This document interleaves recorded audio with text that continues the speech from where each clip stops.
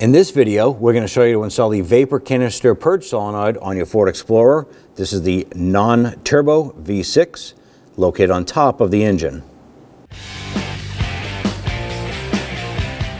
Using a 10 millimeter socket, let's go ahead and loosen the ground terminal on the battery.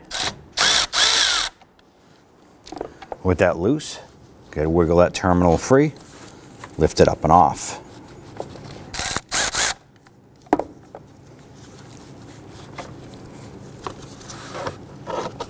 Now when removing your engine cover here, there's going to be a couple of retainer buttons. There's one here on the back passenger side and then one over on the driver side. Use your trim tool. Want to go ahead and pop out the center button here. And as that comes up, you can go ahead and get underneath and remove the bottom half and remove that and do that on the other side. With both of those buttons removed, we're now going to come over to the oil fill cap area.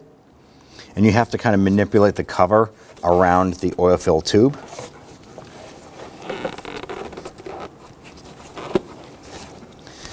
Then lift up on the cover, slide that out and set it aside. Now on the top of your intake area here, just to the left of your throttle body, you're gonna go ahead and locate that vapor canister purge solenoid. Now on the top is an electrical connector. I'm gonna press down this little tab here and wiggle that electrical connector off. Just down below, there's another hose right here. You wanna go ahead and press in on these two little tabs. They press down or inward and you're gonna push them outward towards the intake and pull that lock over. Good, and pull this off. On the top here, we're going to use our 5 16 shallow socket. Loosen and remove the bolts.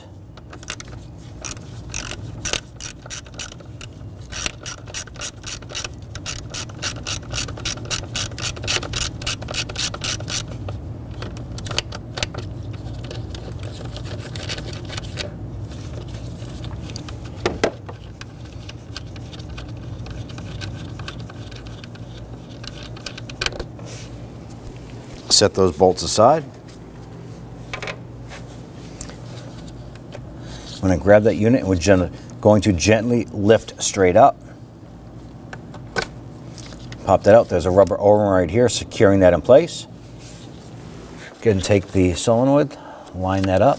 I'm just going to gently work that down, work that O-ring into the intake.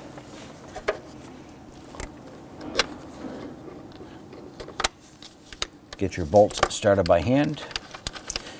And these thread in nice and easy, so I'm just going to go ahead and zip those down by hand.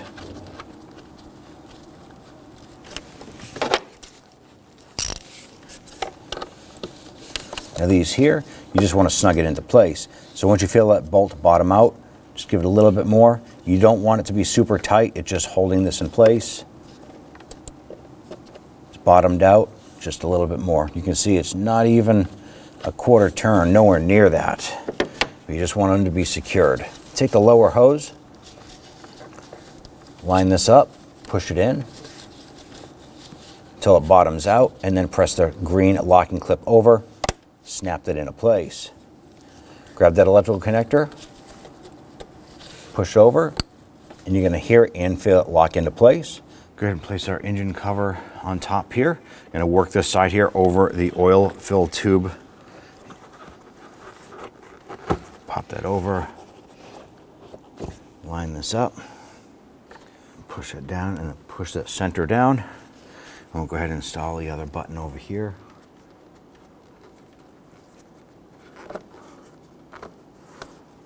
Grab the ground terminal, line that up,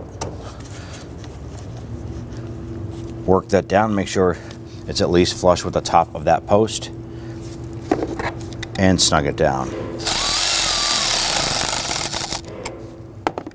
Make sure that's snug. Give that terminal a wiggle. At that point there, you're all set. When only the best will do, demand TRQ. The only company that lets you view before you do. TRQ is committed to offering the highest quality aftermarket auto parts that are engineered for peace of mind. Thanks for using and viewing with TRQ.